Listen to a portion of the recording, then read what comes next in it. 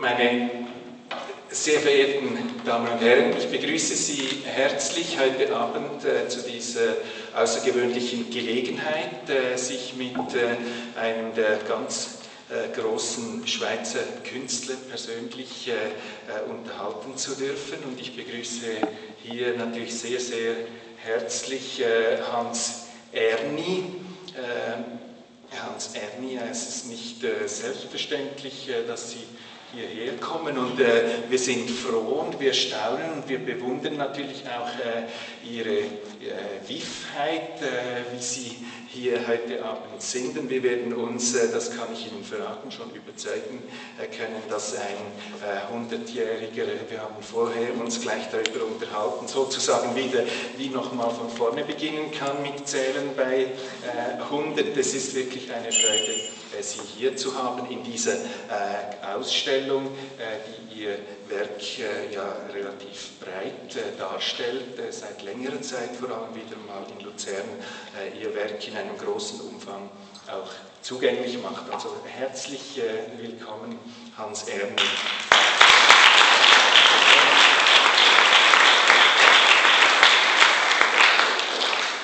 Ich freue mich natürlich sehr, hier äh, in dieser Umgebung von Herrn Fischer diese Ausstellung nochmals besuchen zu können. Aber ich staune über die Anordnung der Werke, die Herr Fischer so eigenartig selbstständig gemacht hat, auch die ganze Wahl der Werke. Das ist vielleicht die, mit, mitgehend eine Originalität dieser Ausstellung, denn ich habe dazu nichts anderes gemacht als die Bilder gegeben. Aber ich freue mich, äh, dass wir hier noch einmal zusammenkommen und vielleicht doch ein paar Sachen besprechen können, die irgendwie äh, doch eine Ergänzung zu den aufgehängten Bildern äh, da ist. Es ist natürlich schon so, dass ich nicht als Sprecher, sondern als Maler hier bin und das Wahre, das ich sagen kann, weitgehend doch bildhaft äußere. Äh, Sie sind ja verschiedentlich schon jetzt in der Ausstellung gewesen. Sie hatten natürlich vor der Eröffnung schon einen Blick äh, hier hereingewagt. Äh, ich denke, für Sie muss ja das auch noch speziell sein. Sie haben ein Werk, das tausend, tausende Bilder, Zeichnungen, Objekte, ja zigtausende äh, umfasst und die sind ja meistens irgendwo im Keller oder eingeschlossen und nun äh, plötzlich, es sind immerhin gut 200 Arbeiten von Ihnen zu sehen, begegnen Sie Ihrem Werk hier in dieser Ausstellung in, in, einer Form wahrscheinlich, die für Sie selten ist. Was empfinden Sie da? Ist, ist man da irgendwie stolz oder ist man äh, da überrascht oder ist man da äh, vielleicht sogar angeregt? Äh, was, was sind da Ihre Gefühle mitten in Ihren Werken? Weder Stolz noch Rührung sind da, denn vorwiegend ist man ja auf die Zukunft hin gerichtet und denkt gar nicht sehr viel an die Gegebenheiten, die vergangen sind. Deshalb dann denke ich, äh, hier bewege ich mich in einem Teil meiner Arbeit. Herr Fischer hätte ebenso gut noch eine Ausstellung machen können und sie wäre ebenso gefüllt, angefüllt von Werken gewesen wie diese Ausstellung. Aber das ist eigentlich das äh, Charakteristische, dass der Aussteller auch im gewissen Sinne seine Persönlichkeit in der Auswahl der Werke, damit zeigt er ja, äh, zeigt er sich im Gegenbild des Künstlers, denn er wählt, er stellt sie aus, er könnte die Wände pflastern mit Bildern, aber die Disziplin, das Weglassen, ist in der Kunst halt doch etwas vom Wesentlichen. Wesentlichen. Denn alles, was ja, ein Künstler macht, ist so gut wie das, was er weglassen kann.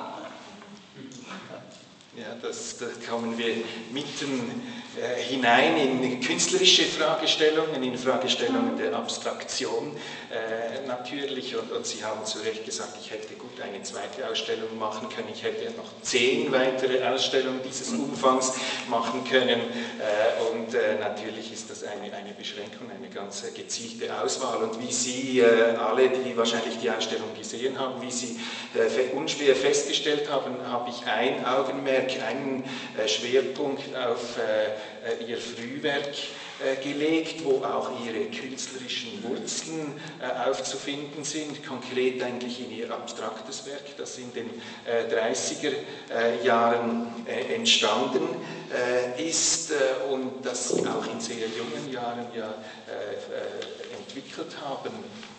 Wie wichtig war in jener Zeit, waren in jener Zeit auch die Kontakte äh, zu den äh, anderen Künstlern. Sie haben in Paris ja wirklich äh, das Who is Who der damaligen Kunstszene getroffen. Äh, äh, was war das für ein Erlebnis für Sie?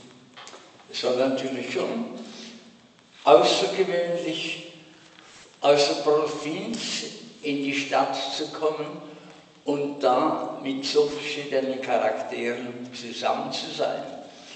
Aber diese ersten Jahre waren ja weniger noch weniger äh, in Beziehung zu anderen Künstlern. Denn erst etwa fünf, sechs Jahre nachdem ich da in Paris angekommen war, hatte ich die Möglichkeit von den Kollegen, die ja von allen Seiten zusammenkamen und jeder in seiner Originalität etwas mitbrachte, sodass die, die Anregungen zum Verlassen der eigenen Sache, die man in der Provinz, also ich erwähne jetzt Provinz unsere Stadt, und das ist vielleicht eine Beleidigung, aber es ist doch so, dass sie, wenn sie fortgehen, allerlei weglassen müssen über ihre Gegebenheiten. Und sie, wenn sie offen sind, wenn sie ihre Perspektiven sichtbar und empfindbar machen, dann glaube ich, sind die Einflüsse, die sie aufnehmen, doch in den ersten Jahren ganz wesentlich. Und so glaube ich, dass wir doch weitgehend mit dem Hauptbild, das Sie ja eigentlich den Vordergrund gezogen haben, nämlich die Abstraktion, dass wir einige Worte über diese Abstraktion doch äh, verlieren. Denn die, die Erziehung in der Kunstgewerbeschule und so weiter, ist ja eine Erziehung zum Beobachten und zum Wiedergeben, das Beobachtete zu formen, aber weitgehend die Natur als das Leitmittel doch vor sich zu haben.